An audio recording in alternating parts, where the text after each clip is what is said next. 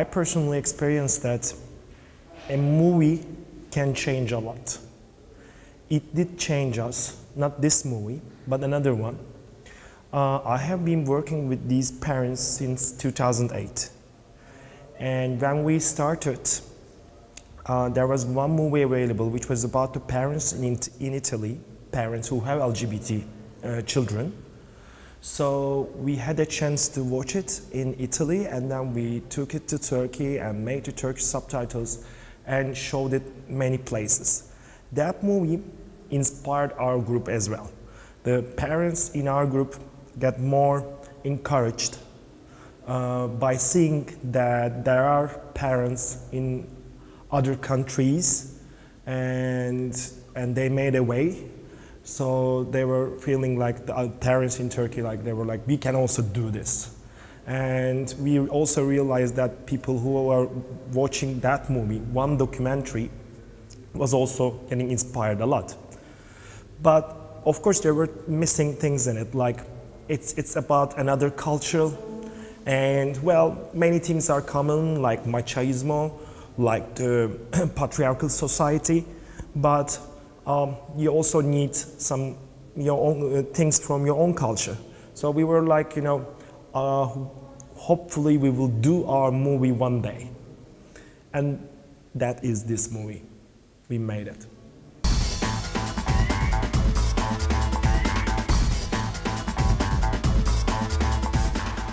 I'm one of the initi initiators of the group. So when I decided to write my thesis on this subject, I started to reach parents in Turkey one by one. And then this, you know, got bigger like a snowball. Why did I choose it? Because much more before that I started to work with them and decided to write my thesis on it, um, I met two parents in Europe. One of them was the head of the parental group in UK and the other one was the the head of the Italian parental group. And they were the first two mothers that I could be able to come out personally and hug and cry on their shoulders. So I knew that this is an important subject. And those two ladies um, really changed my life. It's always the women who changed my life, actually. And they were one of them. And they asked me the very, very crucial question um, Are there parents in Turkey? And I said, not like you. And she, one of them said, why don't you start it? So that's why I chose this subject. First to work on for my PhD, then to work them in the field, in the civil society in Turkey.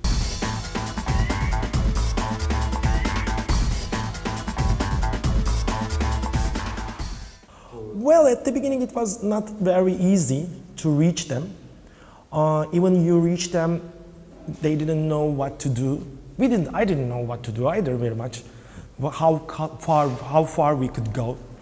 Um, but as soon as we start to publicize it, people start to join us and call us. First to, to get help, of course, to get support from other parents like them. Then, then surprisingly, it got really big. Uh, we started in Istanbul, then we spread the seeds to other cities in Turkey. We have groups in Ankara and in Izmir. And now with this film, it is getting bigger and bigger.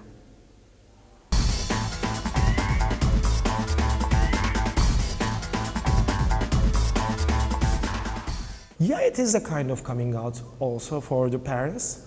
Um, they go to similar processes that the LGBT people go uh, first, first you need to accept this insight. Then, then maybe you share it with a friend. That friend for, can be another relative for a parent. Maybe they, they share it with their wives, husbands, and then they start to share it with other people in the society. And at the end, as you see in the movie, one day, not all of them have to be like that, but one day they take the flag and march on the street and, and support their children for the basic human rights that all should have.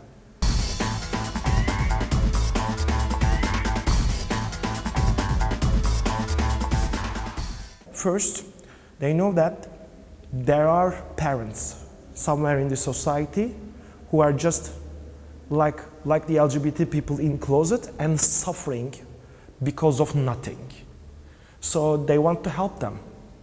Then they know that uh, the, this human rights problem is not only the issue of their own children. Because if they want the happiness of their children, they realize that they have to stand next to them, not in front of them or not behind them, but next to them.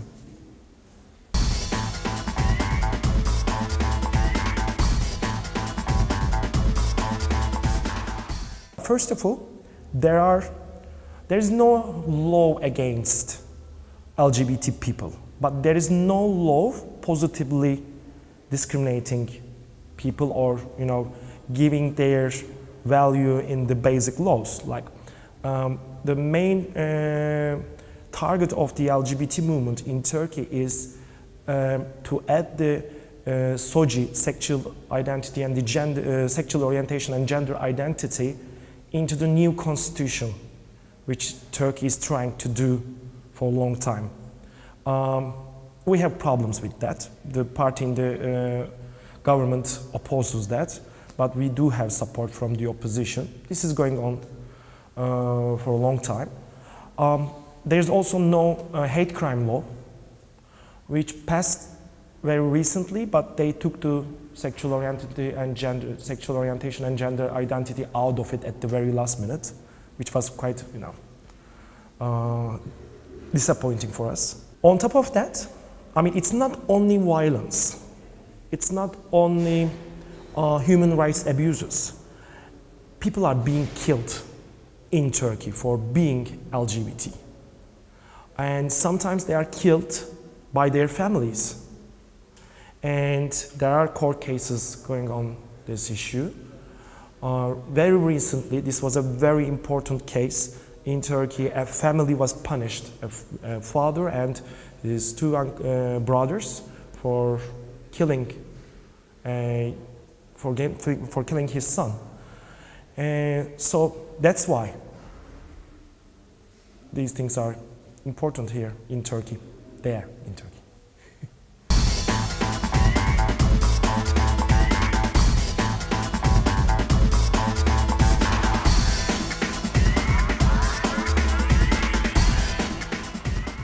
That's a very good point.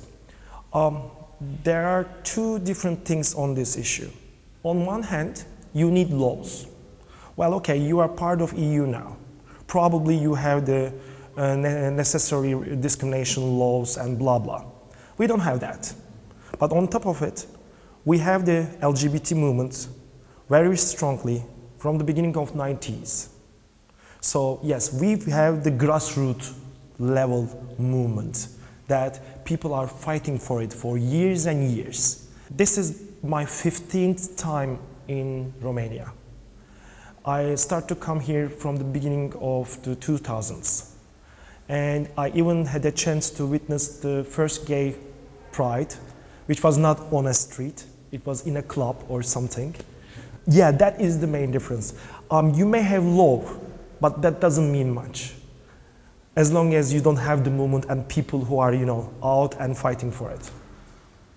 Then when you march, yes, people may attack if they see that you are vulnerable.